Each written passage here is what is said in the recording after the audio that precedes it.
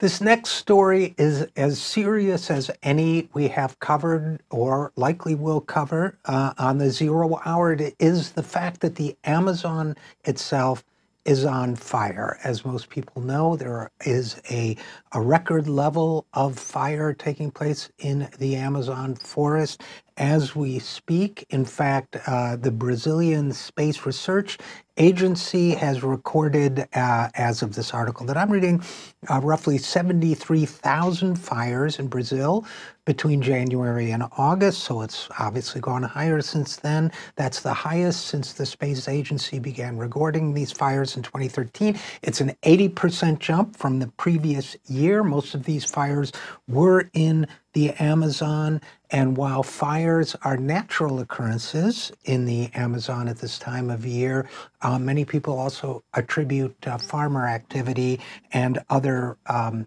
commercial activity to these fires. Joining us now to discuss the situation's critical situation with us is Christian Poirier, who is program director for Amazon Watch. Uh, so, first of all, Christian, thank you for coming on the program. Thanks a lot for having me. Uh, uh, secondly, would you say that I accurately stated the gravity and nature of the problem?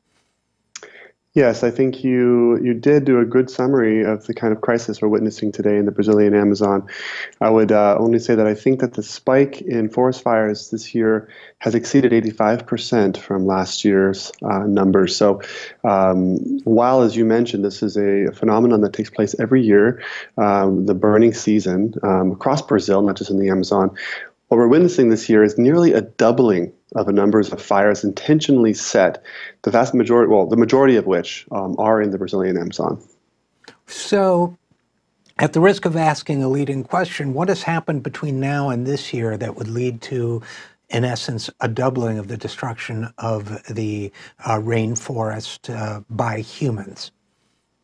The obvious answer is the ascension to power of an authoritarian and ruthless leader, um, Jair Bolsonaro, who is incredibly anti-environmental um, and antagonistic to the human rights of the indigenous peoples who live in the Amazon and who are its best stewards.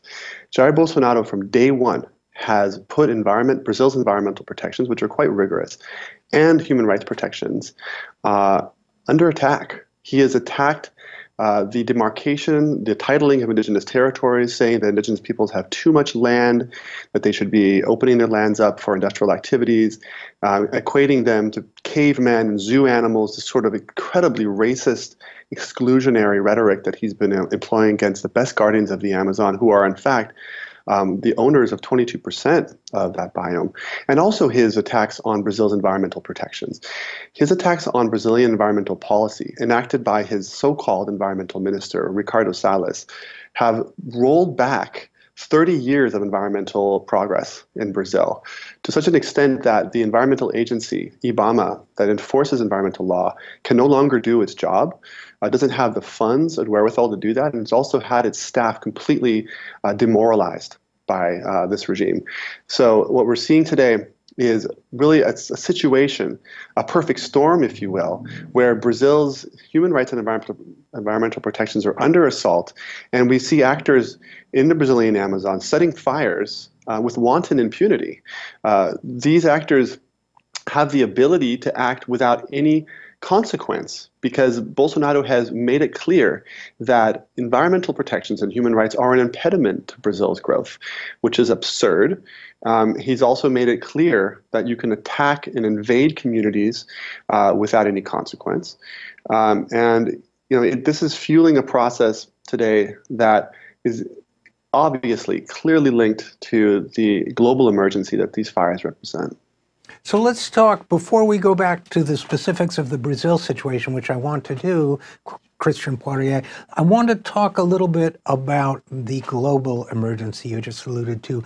Why, uh, I think many, if not most of our listeners have a sense of the importance of the Amazon rainforest, but why, uh, just to be clear, why is this of such global importance and consequence? The Amazon rainforest is a cornerstone of global climatic stability.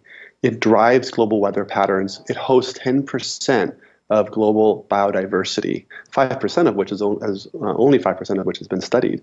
Uh, it actually hosts as well 20% of the planet's free flowing fresh water. It is one of the most important buffers against runaway climate change. These fires are destroying vast areas of the very forests we need for our future survival. In doing so, they're releasing enormous quantities of carbon dioxide into our, the global atmosphere, and they're also destroying uh, this, this carbon sink by releasing its stored up carbon. Um, we need the Amazon to sequester carbon. We need it to also um, hold vast amounts of, uh, amounts of carbon in its plants, in its soil. And what the fires do is that they absolutely destroy the Amazon's ability to render this incredibly important service to, to all of uh, humanity. Uh, so, this is why it's a, of global importance. This is why we need to see a global response to what is essentially an Amazonian problem. The Amazonian states that are burning today, uh, not just Brazil, Bolivia, Venezuela, Colombia, um, all have the mandate and the responsibility to protect their own forests and to put out these fires. But absent uh, their ability to do so and absent the responsible behavior we all rely on them to be carrying out in, in regard to their forests, we need to see global cooperation to put out these fires as well. So, to be clear, uh, the implication of everything you're saying is that the entire uh, cyclical process that is putting at least something of a brake on climate change, uh, which is already accelerating at an unacceptable and destructive pace, is those brakes are in effect being removed by this uh, burning of the Amazon rainforest. So not only is it harming the forest itself as a home to enormous biodiversity and, and the peoples who live there, but is actually endangering further the whole planet uh, dramatically, I, I, think, when it comes to climate change, right? That's right. Uh, we have this is untold damage to our climate. We cannot gauge the the enormity of the, the threat that these fires bring today. And it's also important to note this is the beginning of a process where the fires could actually intensify over the next month. September is actually the worst of the of the burning uh, months in the Brazilian Amazon. And um, for that reason, we're witnessing a climactic emergency. We're also, unfortunately, witnessing a government that is not willing to accept its responsibility, that's trying to defer attention, trying to do everything it can to create uh, just attention elsewhere, when in fact, uh, we need to understand that it is um, very much responsible for what's happening today.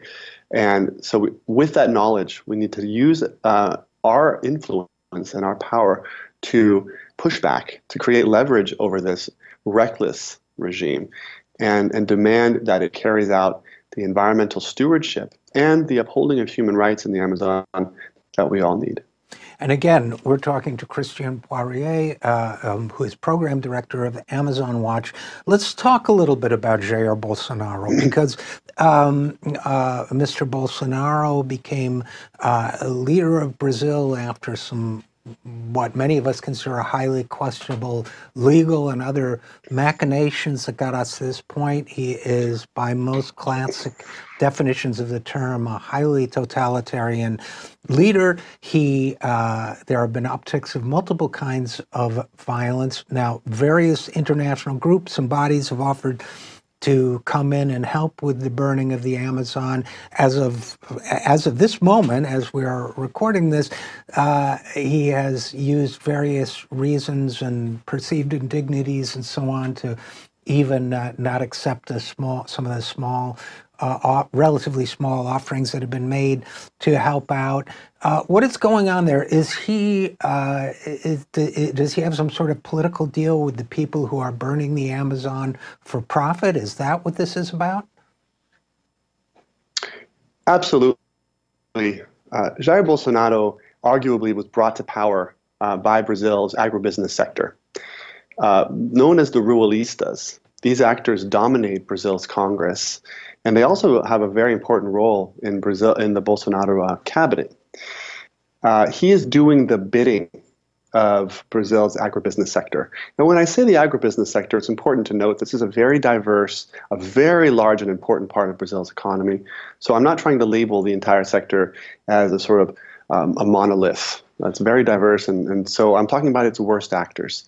Its, worst actors are doing the, um, the worst rollbacks on human rights and environmental protections we've seen in a generation in Brazil's Congress, and Bolsonaro is their emissary.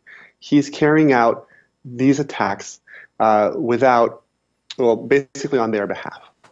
And uh, it's, it's important to note as well that Brazil's ranching industry is responsible for the vast majority of deforestation in the Amazon today. And those are the actors that are setting the biggest fires Brazilian ranchers, uh, and land speculators.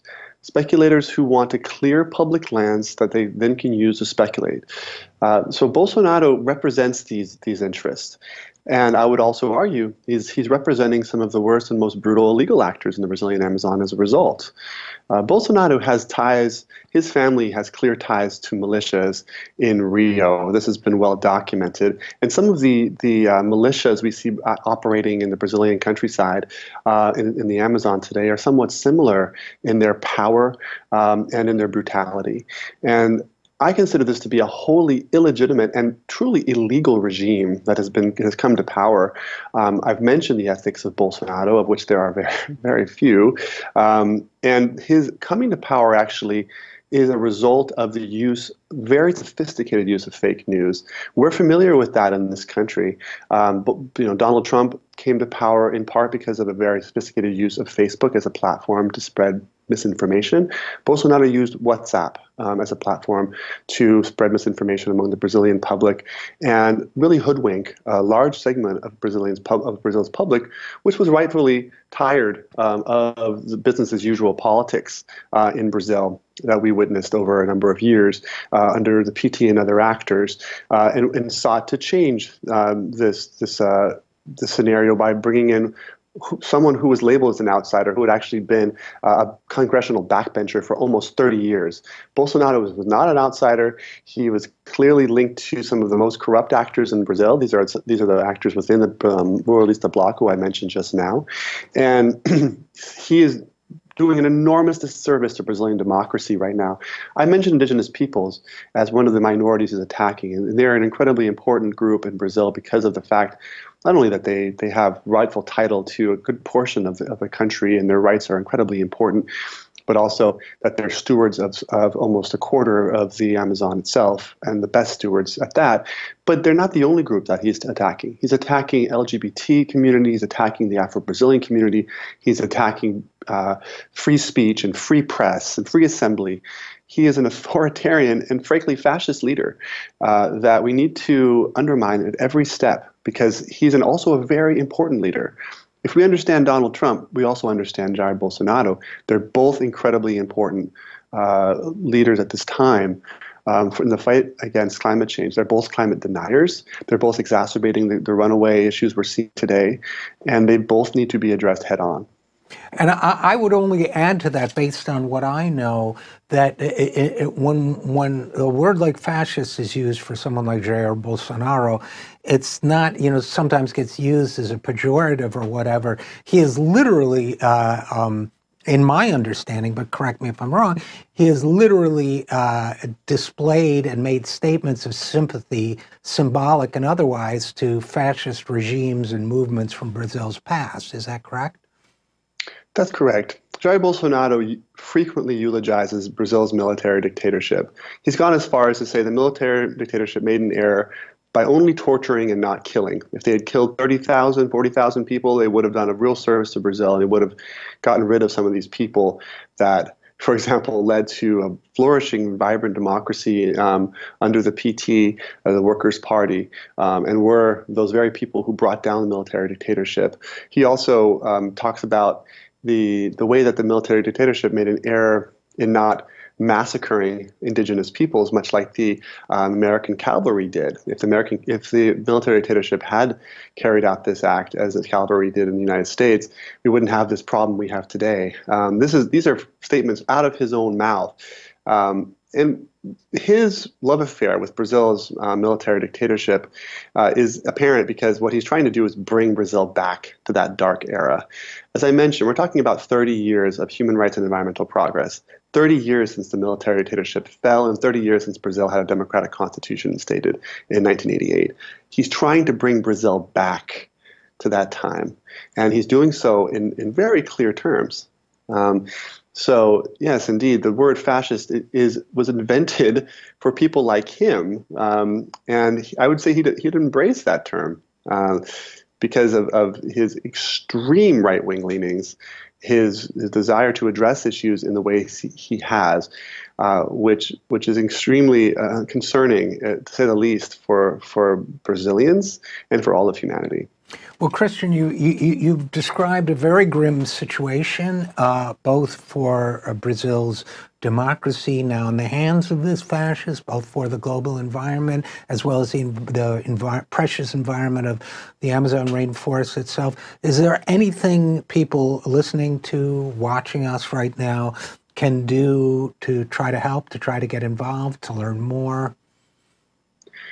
Yes, there are several ways that we can all get involved um, in what's happening today. I, I, stress that this is, while it's very much a Brazilian problem, it needs to be led, the resistance to Bolsonaro must be led by Brazilian social movements we have a lot of, of, of, a major role to play in acting in solidarity with these movements. For example, Brazil's national indigenous movement and its allies are among the most vibrant um, resistance movements to Bolsonaro. Um, the ways that we, we can respond are to get informed, are to take action in our networks. Um, and one way to get informed as well is to understand how we may unwittingly be complicit with what Bolsonaro is doing today by enabling the worst actors operating, especially in the Brazilian Amazon, by buying their products and financing these these uh, bad businesses in Brazil. Amazon Watch conducted a study, uh, a report that released earlier this year called "Complicity in Destruction," and it looks at how North American and European uh, commodity traders, uh, buyers, and financial institutions are propping up this wholly destructive business as usual scenario. And we as consumers actually have a lot to say in this. We as constituents of governments that have a lot to say in trade policy uh, have a lot to say in this. And we must demand that this business as, as, usual scenario that's given birth to the disaster we're witnessing in the Amazon today um, be taken to task, that, that we must revert this process together with our with the powers that be, with policymakers in our countries, with the, the corporations, financial institutions that could be really part of the solution and not part of the problem as we're seeing right now um, need to take action with you know urgency to push back and create leverage over this regime in order to suppress uh, its worst tendencies and restore the rights of uh, Brazil's indigenous peoples, uh, for example, and the, the, environmental protection so integral to the future of the Amazon. Well, we will be following this story extremely closely. We'll also be uh, checking out your work at Amazon Watch, and uh, we will continue to cover it. So, Christian Poirier, uh, Program Director for Amazon Watch, thank you so much for your excellent work in this area, and thanks for coming on the program. Thanks so much for having me.